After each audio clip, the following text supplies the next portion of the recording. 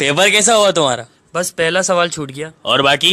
Third मुझे आता नहीं था। फोर्थ क्वेश्चन करना भूल गया। फिफ्थ मुझे नज़र नहीं आया। एंड सिक्स पेपर के पिछली तरफ़ था तो दिखा नहीं। और सेकंड बस वो ही गलत किया।